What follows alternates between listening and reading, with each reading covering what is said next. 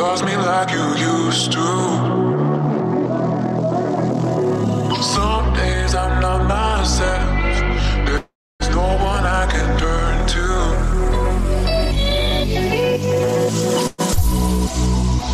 The feelings that we shared are in the past.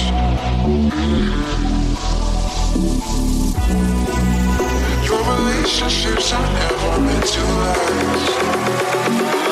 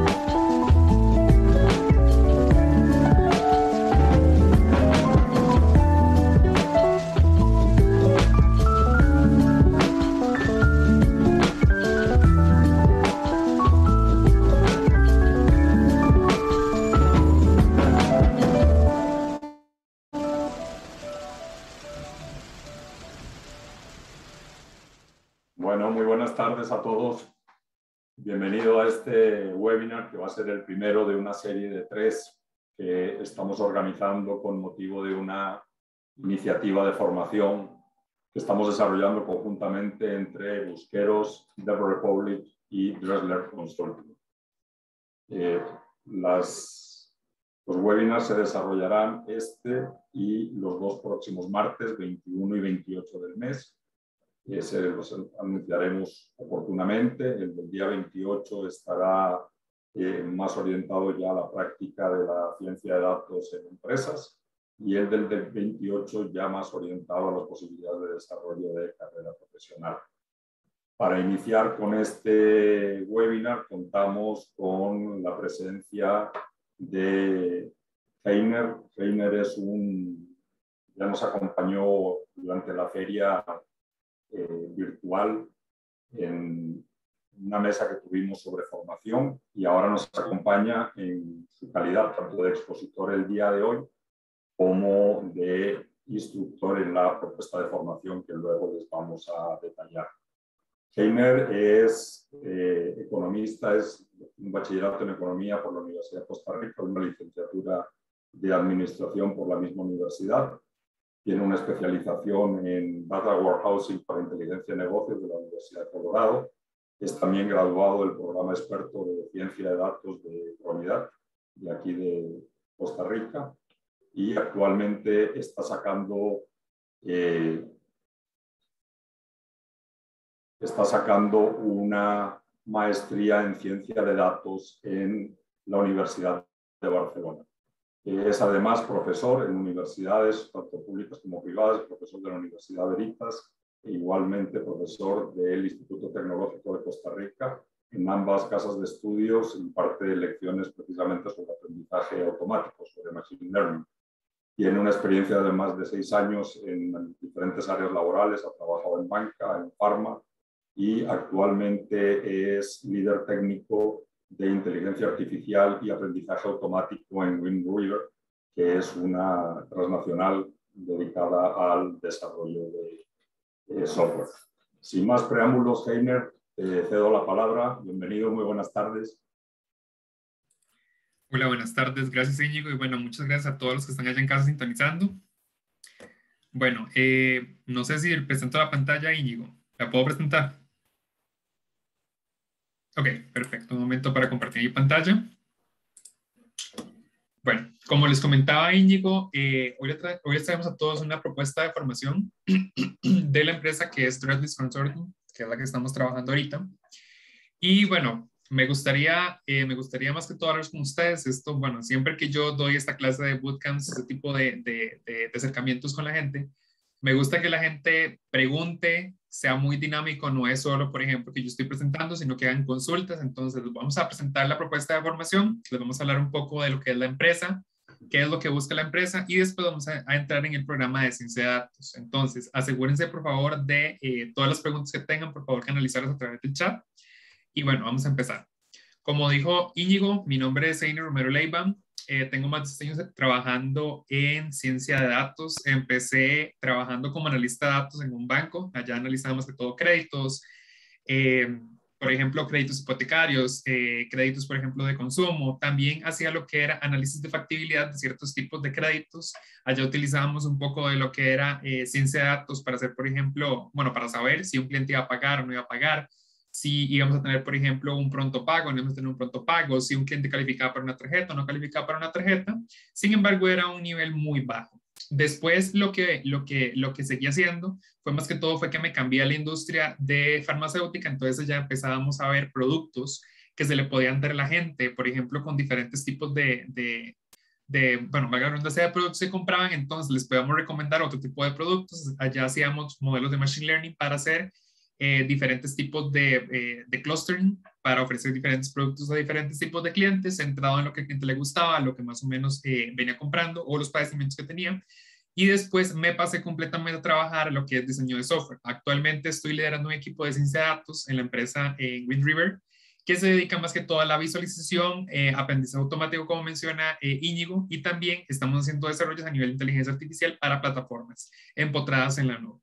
Entonces, es más que todo mi experiencia. Eh, como dijo yo soy bachiller en administración y también economía. Tengo una licenciatura en administración pública con énfasis en riesgos financieros y también tengo una maestría en Big Data y Business Analytics. Ahorita estoy eh, retomando lo que es otra maestría en inteligencia artificial y también tengo varias certificaciones por ahí, más que todo en ciencias. Pero bueno, más que todo, eh, les voy a dar lo que es un resumen de lo que vamos a ver ahorita en este bootcamp, que es primero who we are, es decir, quiénes somos, what data science is, es decir, qué es la ciencia de datos, bootcamp details, es decir, detalles del bootcamp y vamos a tener una fase de Q&A, es decir, de preguntas y respuestas.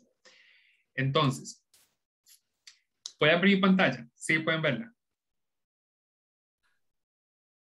Sí, Ok, perfecto. Entonces, bueno, Dev Republic, eh, bueno, Ahí dice, not just uh, yet one more learning center, but a professional team to believe. Es decir, no somos más que un, eh, no somos eh, otro centro más de aprendizaje, sino un equipo en el cual aprender. Entonces, voy a decirles un poco acerca de la compañía.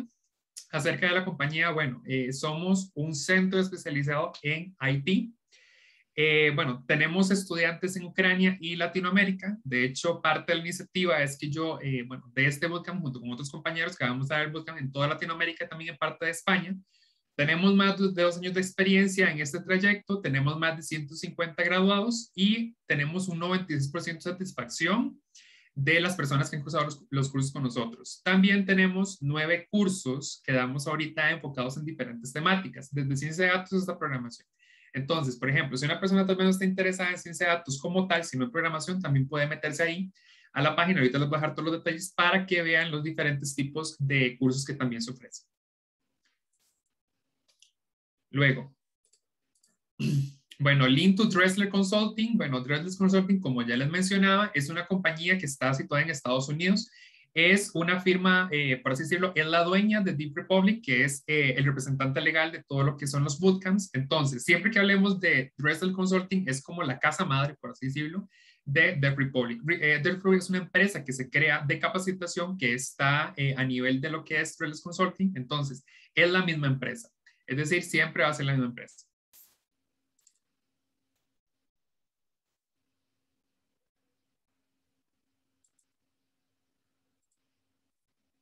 Vieras que se me quedó pegado esto. Un momento, perdón. Un momento, que tenemos un problema técnico.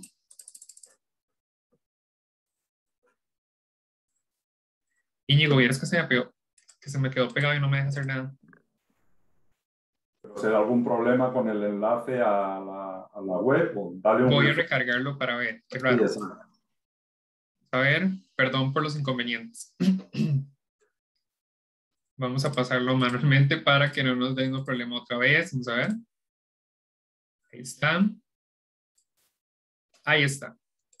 Listo, entonces, bueno, ya que les mencioné un poco de lo que es la empresa, ahora sí vamos a entrar en lo que es la ciencia de datos. Entonces, ¿qué podemos decir de una persona que se dedica a cosas de ciencia de datos? Entonces, no sé si la, eh, bueno, ahorita sé que mucha gente está, eh, está queriendo meterse a este mundo de la ciencia de datos y a veces las personas tienen como diferentes pensamientos de lo que es la ciencia de datos. Unos dicen, no, es que la ciencia de datos es programación, otros dicen que no, que es matemática. Entonces, verdaderamente, ¿qué es la ciencia de datos? Aquí hay una cita de IBM que dice que, bueno, esa eh, es un approach multidisciplinario para extraer eh, insights desde grandes volúmenes de datos que se consumen y que son recolectados para, hoy en día las organizaciones. Entonces, esto es, un, esto es un, eh, una cita un poco, un poco muy general, digamos que es muy general para lo que se hace en realidad en la ciencia de datos. Yo la ciencia de datos lo definiría como este arte que hay hoy en día de venir y tener un montón de datos, cantidades ingentes de datos y poder extraer cosas útiles de ellos que no necesariamente a simple vista las podemos extraer. A veces la gente piensa que la ciencia de datos nada más tiene que ver con muchos, muchos datos. Y sí, en parte es cierto porque se habla de Big Data. Sin embargo, si una empresa, si una persona o incluso una startup, una persona que apenas está empezando en startup, está interesado en conocer cuáles son los datos que tienen mis clientes y no necesariamente tiene un montón de datos, también puede tener ciencia de datos. Obviamente eso va a depender de la madurez de la empresa, de la madurez de los datos y conforme esa madurez de datos se va teniendo, se pueden crear incluso mucho más cosas como por ejemplo modelos de machine learning. Pero ciencia de datos es, por así decirlo, una ciencia que engloba un montón de características, como cuáles, algoritmos. Generalmente los algoritmos que utilizamos en Machine Learning, por eso se llaman algoritmos, ¿por qué? Porque son procesos ya predefinidos que le dan a la computadora, por así decirlo, una serie de pasos que tienen que seguir para explotar los datos. También tiene que ver con análisis, es decir, con análisis que yo puedo extraer desde mis datos, desde un análisis exploratorio hasta un análisis inferencial. También tiene que ver con técnicas de programación. ¿Por qué con técnicas de programación? A veces la gente en las entrevistas de trabajo o incluso en los job description, cuando ustedes lo ven, dice, eh, estamos buscando una persona de ciencia de datos que tenga conocimientos de Excel. Excel no es una base de datos, Excel es una hoja de cálculo y mucha gente a veces piensa que en Excel se puede hacer ciencia de datos y esto no es del todo cierto. Por eso se utilizan los lenguajes de programación. ¿Por qué? Porque Excel llega a un punto en que colapsa. Con un millón y medio de filas, eh, Excel colapsa. Y cuando estamos hablando de Big Data, estamos hablando de millones y millones y millones y millones de datos, de filas consumiéndose cada segundo, de datos siendo eh, generados todos los días, a cada segundo. Entonces, ahí es cuando entran los diferentes lenguajes de programación. Por ejemplo, los lenguajes de programación como R, que es un lenguaje enfocado más que todo en métodos estadísticos, o un lenguaje de programación como Python que es a multipropósito. Es decir, en Python yo puedo crear desde una página web hasta puedo, venir y explotar los datos utilizando, por ejemplo, Pandas o NumPy. También tiene que ver con data, con data cleaning, es decir, generalmente los datos nunca me van a llegar a mi limpios, cuesta demasiado que me lleguen a mi limpios. Entonces, una persona que se dedica a la ciencia de datos tiene que ser capaz de venir, limpiar y explotar esos datos para venir y dar em, insights valiosos a la empresa. Otra cosa que tiene que ver con dashboard. Una persona que es data scientist tiene, la, tiene que tener la habilidad, uno, de, de, poder explotar los datos, pero también de saber transmitir una idea del negocio. ¿Por qué? Porque a mí no me sirve de nada ser una persona muy buena técnicamente hablando, que por ejemplo yo sé la diferencia, por ejemplo, no sé, en cosas muy simples, por ejemplo, la media o la mediana, o que yo puedo decir la diferencia entre un algoritmo de aprendizaje supervisado o no supervisado, y ahí me puedo meter por diferentes ramas. Eso a mí no me sirve de nada si yo a una persona no le puedo explicar en, en términos muy sencillos qué es lo que yo estoy explicándole, es decir, contarle una historia a partir de esos datos. ¿Por qué? Porque mucha gente, eh, y más que todo en las empresas, uno se topa que hay gente que no necesariamente sabe qué es ciencia de datos. Entonces, es parte de lo que uno hace, venir y contarle una historia a la gente a través de, de, los datos. ¿Y qué mejor forma de hacerlo con dashboards? Por eso, una persona que se dedica también a la ciencia de datos tiene que tener muy buenas bases a nivel de lo que es cómo se diseñan los dashboards, qué es lo que mi cliente quiere ver, cómo yo puedo contar una historia, qué es lo que yo quiero contarle a la, a la persona. Entonces, toda esta cantidad de, de de funciones es necesaria que una persona que se dedica a ese datos las tenga. Obviamente en el camino se van desarrollando, pero es necesario que una persona también tenga el gusto por ese tipo de cosas. También tiene que tener conocimientos en matemática. No podemos dejar de lado, por ejemplo, que la estadística es una, es una, es una ciencia aplicada a la matemática. También tenemos que tener conocimiento en, en, en, probabilidad y obviamente en matemática. A veces la gente viene y dice, es que para qué yo quiero aprender matemáticas. Las matemáticas son muy necesarias en ciencia de datos. ¿Por qué? Porque a veces la gente, y esto es lo que pasa, y que a veces las empresas vienen y contratan nada más gente de ciertos perfiles profesionales porque la gente está acostumbrada a tener un camino que es, por así decirlo, fácil. ¿Qué quiere decir esto? La gente nunca, nunca se dedica a entender bien un algoritmo. Lo que hacen es que nada más utiliza un algoritmo como una caja negra. Entonces, si un algoritmo usted viene y le dice, por ejemplo, una predicción le dice un 1 en lugar de un 0, la persona no se sienta a ver por qué el algoritmo me está dando un 0 en lugar de un 1 o al revés. Entonces, ¿qué es lo que pasa? A veces cuando hacemos los modelos ajustamos mal, los hiperparámetros no están bien ajustados, eh, no vemos cierto tipo de cosas como por ejemplo correlaciones, interdependencia entre cada una de las variables. Hacemos ese tipo de procesos que son más de la estadística inferencial, pero también de la descriptiva, y son cosas que a nivel matemático se pueden entender por qué mi algoritmo no está dando los resultados que yo quiero que den. ¿Cómo yo puedo venir y puedo optimizar este algoritmo? Entonces, en ese punto las matemáticas nos van a ayudar a entender mucho de los resultados que nos están dando y cómo podemos venir y mejorar esos resultados. Entonces las matemáticas son muy necesarias a nivel de, eh, a nivel de ciencia de datos. Decision making, es decir, no es solo una persona que pueda tomar, eh, que pueda tomar decisiones, sino que también pueda, pueda, eh, pueda partir de esas decisiones y pueda encontrar mejores formas de hacer las cosas. Y finalmente, modelamiento. Una persona que es un data scientist se dedica a modelar, es decir, yo vengo y trato de explicar un problema abstracto mediante un modelo matemático aplicado a la vida real, es decir, a un problema real de una empresa. Por ejemplo, Una empresa perfectamente puede saber cuál tipo de producto me consumen más mis clientes. Eso es estadística descriptiva. ¿Por qué? Porque simplemente viendo lo que son las ventas, yo puedo decir, este producto es más consumido por ese tipo de cliente. Pero, por ejemplo, ¿qué pasaría si una persona viene y me dice, yo quiero saber dentro de dos años qué tipo de producto me va a consumir más este tipo de cliente que tiene, no sé, por ejemplo, entre 20 y 25 años, que es una mujer o que se identifica con el género de mujer y que estudia tal y tal cosa. Es decir, estamos prediciendo el futuro y eso es parte de lo que hacen los modelos, tratar de predecir la incertidumbre que hay en ellos.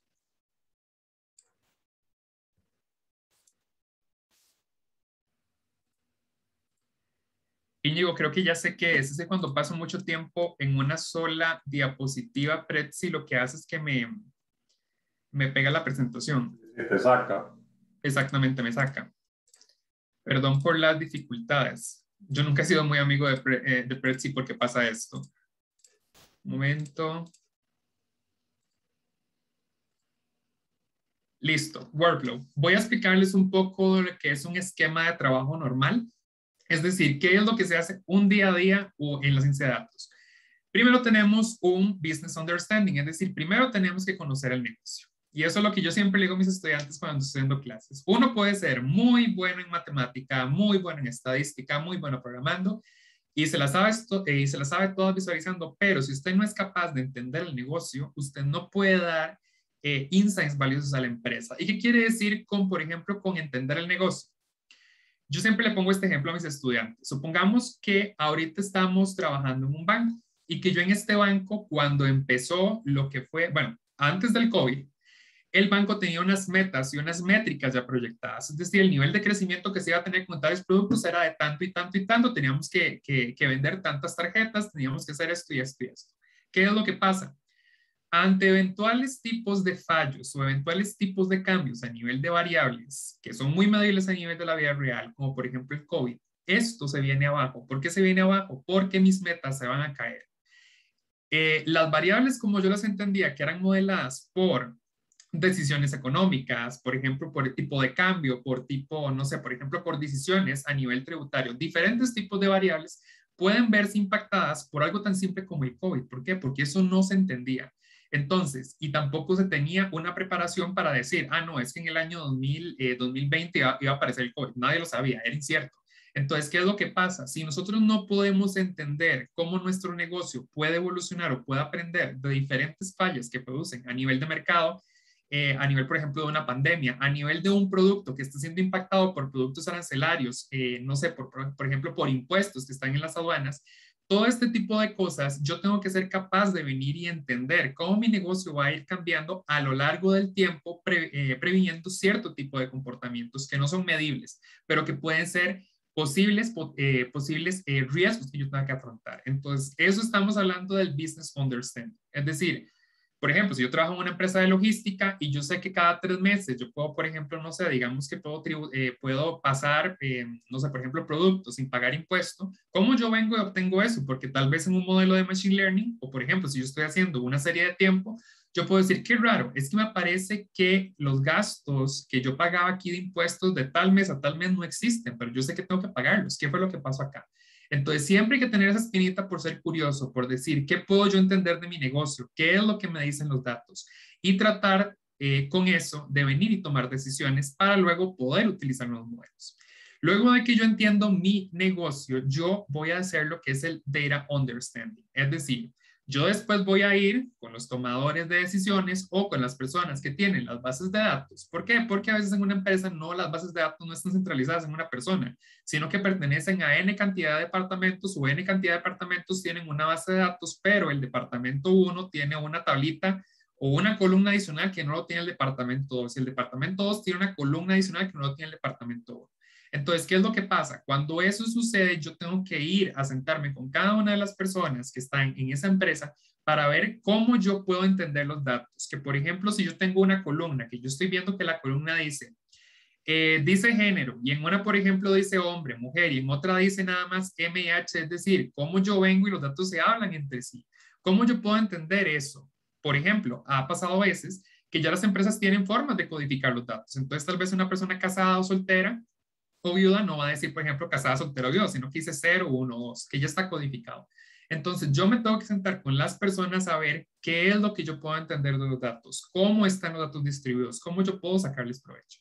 Después de que yo me siento con esas personas, luego yo tengo que pasar a la fase de data preparation, es decir, yo tengo que decirle a cada uno de esos datos que hablen el mismo idioma. Es decir, en mi base de datos, la que yo voy a estar utilizando, no va a pasar que, por ejemplo, yo tengo una etiqueta que diga, por ejemplo, género y va a decir hombre, mujer y en otra va a decir, por ejemplo, H, eh, eh, perdón, eh, H y M, o también puede decir, por ejemplo, eh, no sé, 0 o 1. Es decir, yo tengo que hacer que todos los datos se hablen entre sí para tener un mismo lenguaje. No voy a decir, por ejemplo, en una que sea, por ejemplo, viudo o soltera y en otra que diga 4 y 0. Es decir, yo tengo que, no, yo tengo que venir y encontrar la nomenclatura correcta para venir a explotar esos datos.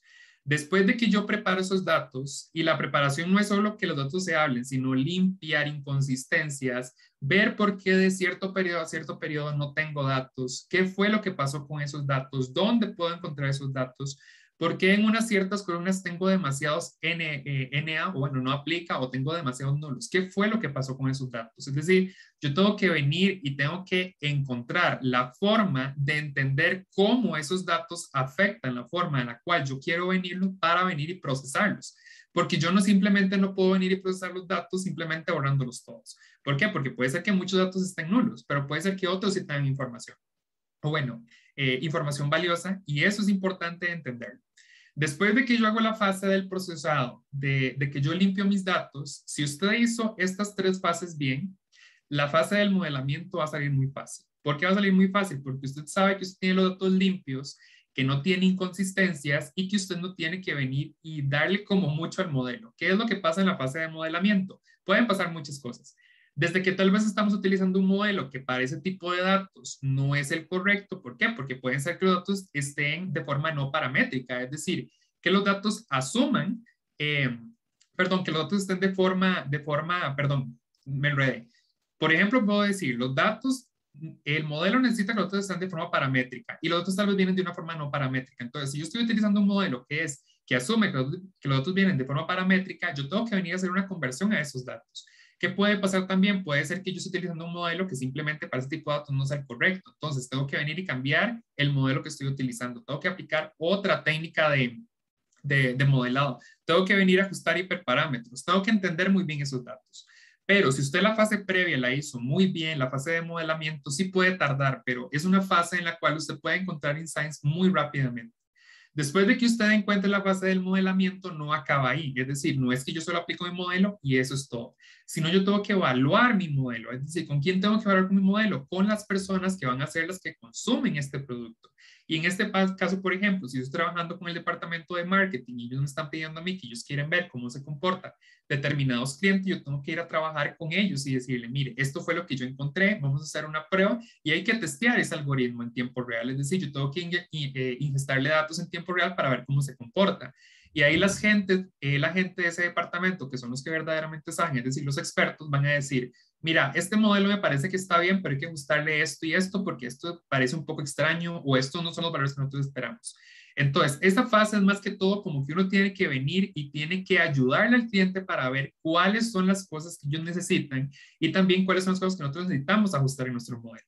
Cuando ya llegamos a, a un punto de encuentro, es decir, en que, la, el que la, por ejemplo, el departamento de marketing dice, este, este modelo nos gusta, nos parece que está bien y está haciendo lo que nosotros queremos, viene la fase de deployment. Es decir, la fase de deployment es ponerlo en producción. Es venir, es empotrar el modelo en alguna solución, ya sea, por ejemplo, en una página web. Por ejemplo, cuando una persona está viendo si comprar X o Y producto, está en la página web dando clics. Entonces, ahí es cuando entran estos modelos. Por ejemplo, no sé, queremos darle un modelo de recomendación, por ejemplo, debemos decir, ah, personas que han visto eso también han visto esos productos, por ejemplo, lo que hace Amazon hoy en día.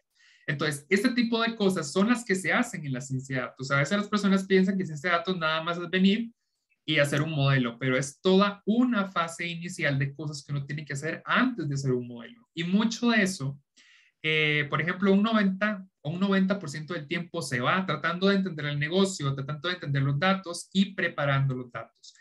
Quizá un 5% se va en modelamiento y otro 5% en evaluación y deployment. Pero eso es muy común en ciencia de datos y a veces la gente nada más se quiere meter a esta área porque nada más ven la palabra modelos y suena muy interesante. Pero también hay que tener en cuenta de que es una fase que se tiene que preparar datos. Generalmente los datos nunca vienen limpios o de la forma en que uno espera. Entonces uno tiene que transformarlos. Otra vez se pegó.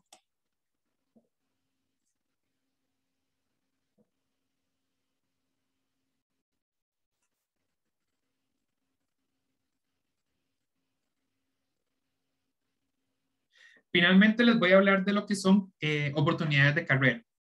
bueno, eh, aquí se tiene un, un salario de dos mil dólares estimado mensualmente. Esto es para la parte de Sudamérica. Y también dice que hay 25 mil puestos vacantes en LinkedIn. Esto fue de LinkedIn. Y también se ve que hay un gráfico que dice Data Scientist Requests in Google Trends. Es decir, la carrera de Data Science es una de las más buscadas hoy en día. ¿Y por qué están buscados hoy en día? Porque se ha descubierto que el nuevo petróleo del siglo XXI no son los datos. Entonces, todas las empresas quieren ver cómo yo puedo explotar mis datos, cómo yo le puedo sacar insights valiosos a sus datos. Y también eh, las oportunidades de carrera son muy amplias, son muy grandes. Y también sí son bien pagados los puestos. Sin embargo, aquí quiero hacer una aclaración. No toda la gente que ingresa a la ciencia de datos va a tener esos salarios de entrada. Y eso es algo que sí quiero dejar eh, muy en claro. ¿Por qué?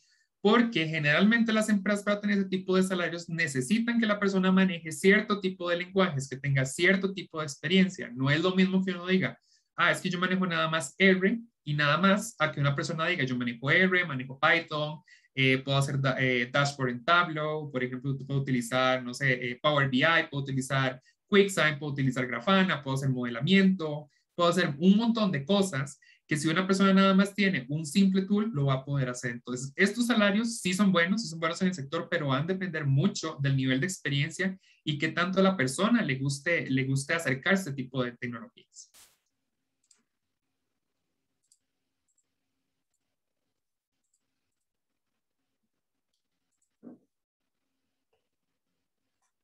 Íñigo, perdón, ¿hay alguna forma en la cual quizá vos puedas presentar eso. No, eh, no, dale, dale, bueno, vamos a ver, dame un momento. Gracias. Es que se me está quedando muy pegado.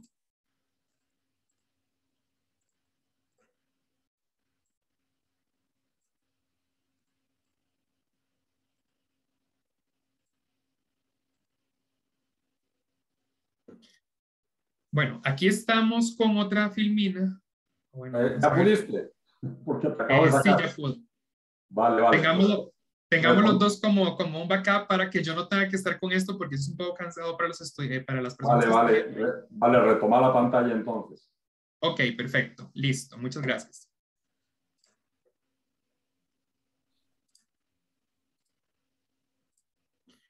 Listo. Bueno, aquí tenemos unos tasks que son como los, eh, los, bueno, los trabajos en Data Science más buscados hoy en día. Entonces, bueno, tenemos lo que son el Data Analyst, el Data Analyst es una persona que se encarga de hacer eh, análisis a nivel descriptivo de los datos. Más que todos son los que se conocen como antes como los Business Intelligence Developers, son ese tipo de personas, los que se encargan de hacer un análisis a nivel descriptivo de los datos y, tal vez de vez en cuando tomar alguna inferencia. Entonces, las cosas que generalmente utilizan más estas personas son Data Visualization and Communication, Data Intuition, Statistics y muy poco, por ejemplo, de álgebra lineal local. Ahora después tenemos a los Machine Learning Engineers, que este tipo de personas son las que se encargan de hacer los modelos de Machine Learning que se van a consumir luego en las páginas web o en algún tipo de sistema empotrado que tengamos. Entonces, esta persona que tiene que ser muy buena, tiene que ser muy buenos en estadística, tienen que ser muy buenos en Machine Learning, tienen que ser muy buenos en Software Engineering y también tienen que ser muy buenos en matemática, específicamente en cálculo multivariable y en álgebra lineal.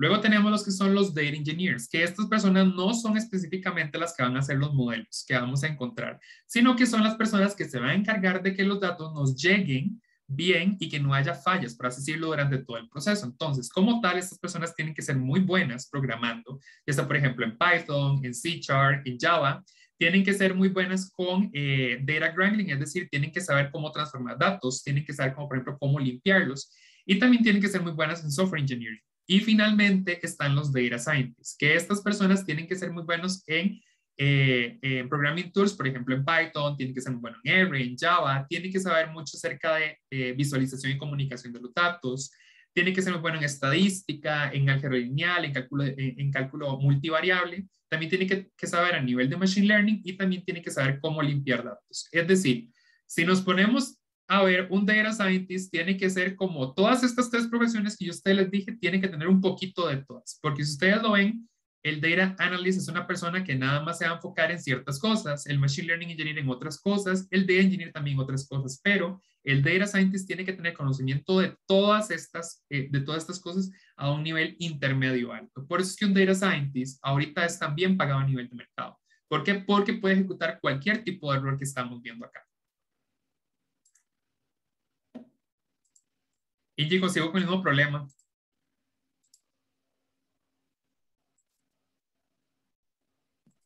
Hazle clic a la flecha de siguiente, no lo hagas tanto exacto. A ver que no te responde. No, no me responde. Bueno, dame un momento entonces.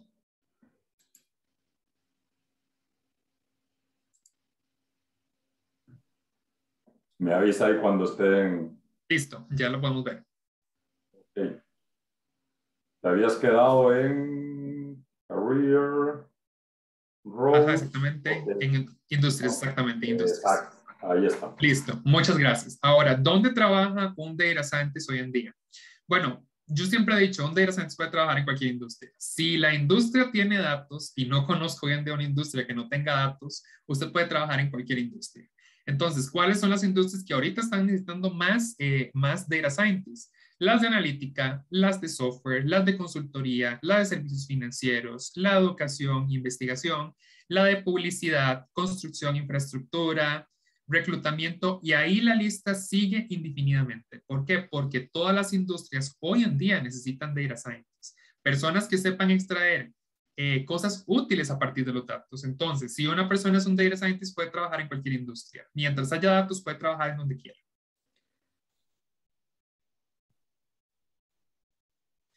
Y vamos a verle también lo que es el Career Path for Data Science. Entonces, a veces las personas piensan que cuando se meten a un área como esta, que eh, es ciencia de datos, solo tienen que dedicarse a un tipo de cosa, que es, por ejemplo, ser científico de datos. Y esto es completamente mentira. ¿Por qué?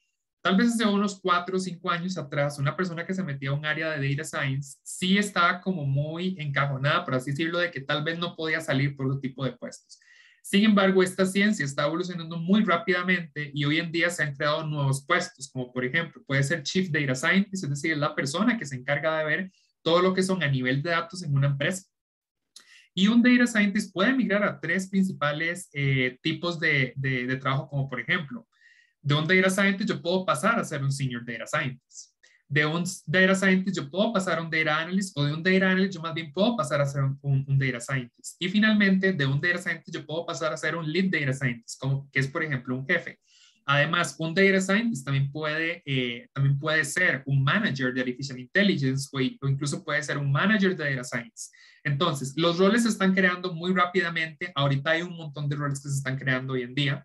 Y también si una persona, por ejemplo, no quiere seguir la estructura lineal de una empresa que generalmente se tiene a nivel de jerarquía, también puede decir, no, sinceramente yo quiero ser data scientist. ¿Por qué? Porque también puedo tener un montón de oportunidades siendo consultor. Y hoy en día los consultores también son muy buenos localizados en el mercado y también pueden trabajar desde donde quieran en cualquier industria. Entonces, hay muchas oportunidades de empleo para una persona que quiera ser data scientist hoy en día.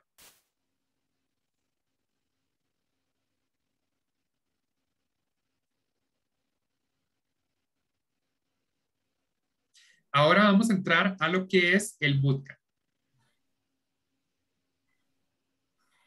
Entonces, ¿cuáles son los requisitos que se solicitan en, esta, eh, en este bootcamp?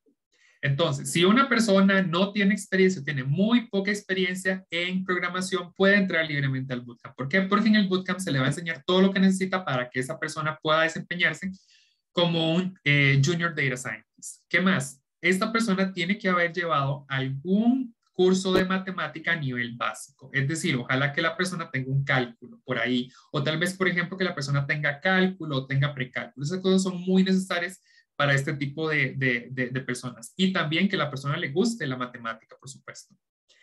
Luego, eh, usted puede tener oportunidades para estudiar eh, en cualquier lado del mundo.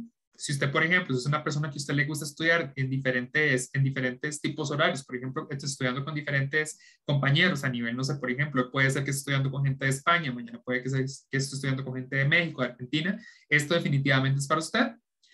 Y eh, usted también tiene un sueño, como por ejemplo de que usted puede ser un Data Science Specialist en este caso, o por ejemplo que a usted le gusta mucho la pasión, el tema de los datos, también es una buena oportunidad para una persona que le interesa ese tipo de cosas. Y bueno, este bootcamp también es para una persona, por ejemplo, que quiere desarrollar todas esas habilidades técnicas necesarias, pero en un corto tiempo. Estamos hablando de cinco a seis meses que dure el bootcamp. ¿Por qué? Porque generalmente las personas que se dedican a ese tipo de cosas también, son, eh, también tienen que estudiar o tienen que también que trabajar. Entonces, se diseña este bootcamp por ese tipo de cosas, para que las personas en un tiempo entre 5 y 6 meses puedan desarrollarse como Junior Data Scientist y puedan empezar a laborar. Entonces, por eso es que este bootcamp es tan intensivo.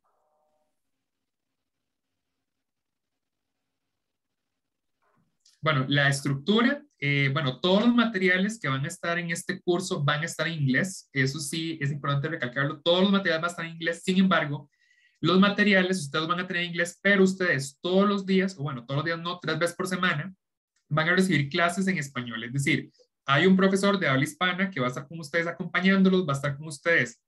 Si, si tienen, por ejemplo, una duda en tal material, lo vamos a ver. Entonces, ¿qué quiere decir esto? Aunque los materiales estén en, español, en, inglés, todas las clases siempre van a estar en español y la forma en que ustedes van a obtener las explicaciones o el mentoring también va a estar en español.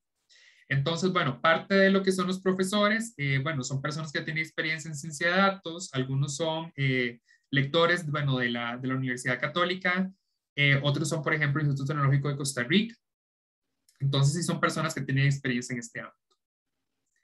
Íñigo, podemos pasar, ok, perfecto. Lo que son los horarios, ¿cuándo va a estar el bootcamp? Como ya les mencioné, generalmente este bootcamp va a tomar entre 5 a 6 semanas, perdón, 5 a 6 meses y está eh, puesto para que inicie en octubre 4 y que finalice en abril de 2022. Hay tres módulos que las personas tienen que pasar. Si no pasan un módulo, un módulo de estos, no pueden seguir al siguiente, entonces sí, tienen que retomarlo.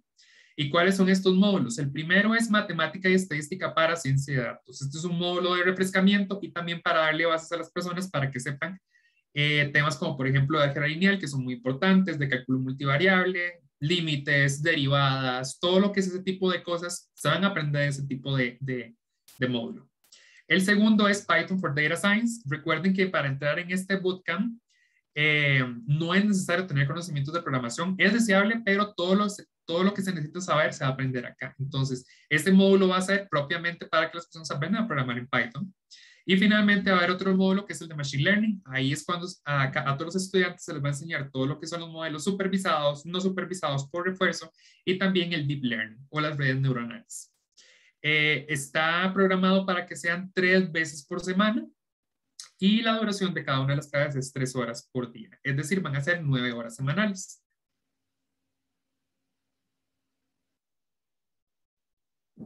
Finalmente, ¿cuáles van a ser las tecnologías que se van a utilizar en este tipo de bootcamp? ¿Qué es lo que los estudiantes van a aprender? Primero van a aprender programación orientada a objetos, por ejemplo, Python. Van a aprender Python 3 también, van a aprender Pandas, van a aprender NumPy, SQL, que es para manejar datos estructurados, van a aprender lo que son, bueno, Machine Learning Algorithms, por ejemplo, con Scikit-Learn, van a aprender de matemática y también de estadística. Es decir, todo lo que se necesita para ser un Data Scientist eh, Junior va a estar cubierto en este bootcamp.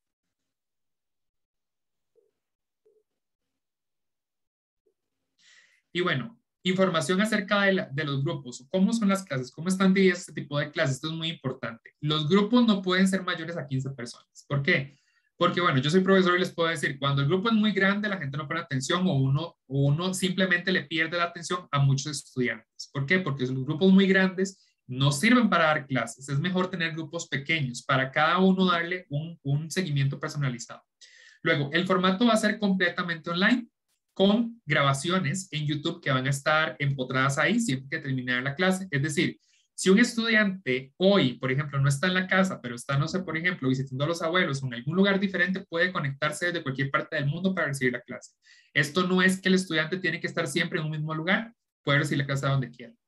Luego, la teoría va a ser muy poca, sin embargo, se va a centrar mucho en lecturas, en recursos y se va a hacer mucho énfasis en que los estudiantes puedan practicar, ya que la ciencia de datos no se aprende simplemente viendo la presentación de un profesor o que un profesor venga y me explique qué es, sino que yo como aprendo Data Science, yo aprendo haciendo proyectos, haciendo un portafolio que a mí me va a servir después para buscar trabajo. Y eso es lo que se busca en este bootcamp, que sea muy práctico.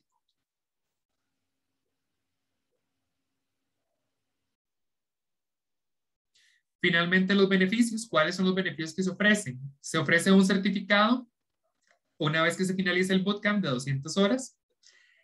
Luego vamos a tener lo que son proyectos de ciencia de datos en la vida real, es decir, se a trabajar con proyectos en la vida real que sí se han trabajado a lo largo de las empresas con, eh, con datasets reales, que se puede incluir tanto en el currículum vitae de la persona como en la página de LinkedIn, con supervisión de los mentores. Es decir, los mentores ustedes van a revisar los trabajos y les van a decir, esto usted puede cambiarlo, esto puede incluirlo, ¿qué le podemos hacer? ¿Por qué? Porque hoy en día, cuando uno está buscando trabajo como un data scientist, a uno le hacen prueba técnica, es cierto, pero también las empresas evalúan mucho un portafolio que usted tenga de proyectos. Y si usted llega a una empresa y no tiene un portafolio de proyectos, la empresa le va a decir, ¿y usted qué tipo de proyectos ha hecho? Y usted, y usted generalmente lo que hace es decirle, no, no he hecho ningún proyecto.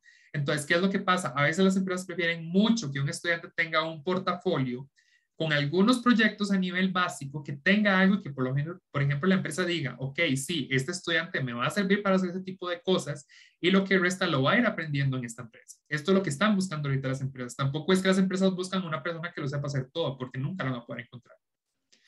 Luego, eh, también se ofrece que parte de Dev Republic va a estar ayudando a los estudiantes a encontrar trabajo como Junior Data Scientist y después, eh, a los estudiantes que tengan las mejores calificaciones, se les va a ofrecer eh, una oferta de trabajo por parte de, Dressler, Consulting. Los detalles de la información y todo se puede pedir a nivel de la, de, la página web o en comunicaciones posteriores, pero sí se le va a ofrecer eh, posteriores trabajos a las, a las personas que tengan las mejores calificaciones. A nivel de los pagos, ¿cómo se financia esto? ¿Cómo más que todo yo puedo venir y puedo, si estoy interesado, cómo puedo venir y tener más información? Los pagos se pueden hacer por transferencia bancaria o mediante, bueno, hay diferentes opciones, esta transferencia bancaria, hay que ver, por ejemplo, las personas que estén interesadas, si el banco en el cual ustedes tienen su dinero acepta los, las transferencias bancarias internacionales, eso es muy importante. Y mes a mes se tienen, hay dos métodos. El primero es que usted paga as you go, es decir, cada mes que usted va obteniendo, eh, usted va cada mes, va pagando 500 dólares. Puede pagarlo también eh, semanal, es decir, 600 dólares. Y después 100 dólares por cada semana, pero también hay una opción en la cual usted nada más paga. Antes de que empiece el programa se puede pagarlo todo de una vez, que son 2.500 dólares, y se le hace un descuento. Porque si ustedes se ponen a ver, si ustedes lo pagan mensualmente y son seis meses, dura 3.000 dólares. Entonces, si ustedes pagan todo el bootcamp antes de que este inicie, se les hace un descuento de 500 dólares. También otra cosa que ofrece la empresa es que es un money back guarantee, es decir, si usted no encuentra trabajo después de que, de que finaliza el bootcamp, dentro de esos seis meses siguientes a la finalización del bootcamp, la empresa se compromete a desembolsarle usted lo que usted tuvo que desembolsar para pagar el bootcamp. Eso sí, es muy importante que usted como estudiante estuviera presente en el 90% de las clases y que haya pasado todas las prácticas y test que, eh, que se le asignaron con una nota no menor a 90 en cada uno de ellos.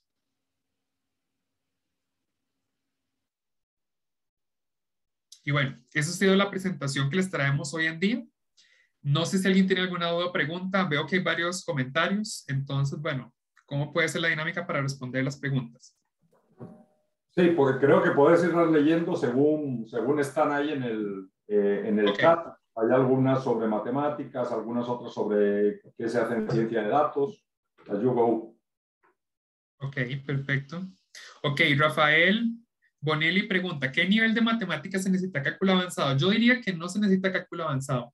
Yo diría que, por ejemplo, si usted ha llevado cálculo 1 o por lo menos tiene bases en que es un límite o una derivada, una integral, el curso es completamente, eh, es completamente para usted. Ahora, si hay personas que nunca han llevado cálculo, pero sí les gustan las matemáticas y también, y sí llevaron, por ejemplo, eh, álgebra, normal de, de, del colegio también pueden incluirse en este bootcamp. ¿Por qué? Porque este bootcamp se busca también dar un refrescamiento, pero también dar bases a las personas. Entonces, no es que tiene que ser una persona que tuvo que llevar cálculo 1, cálculo 2, cálculo 3, ecuaciones diferenciales, álgebra lineal, sino que es una persona que sí tenga conocimientos básicos en matemática.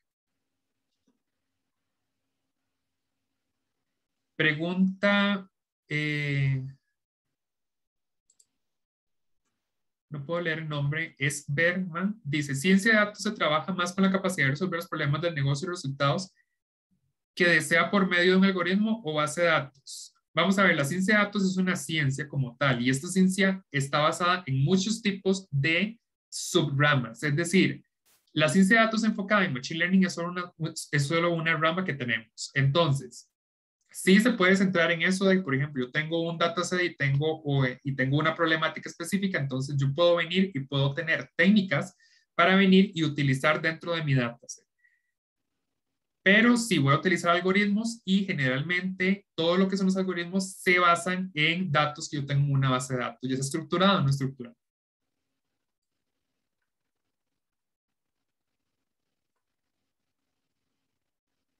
Bueno, creo que esas son las preguntas que están registradas, salvo que alguno eh, de los asistentes tenga alguna...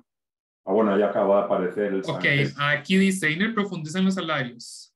El de 2.000 dólares es un, un, salario entry level, como les mencioné. Estos salarios se basan en unas estadísticas que se hacen. Recordemos que las estadísticas que se hacen lo que hacen es tener un salario promedio.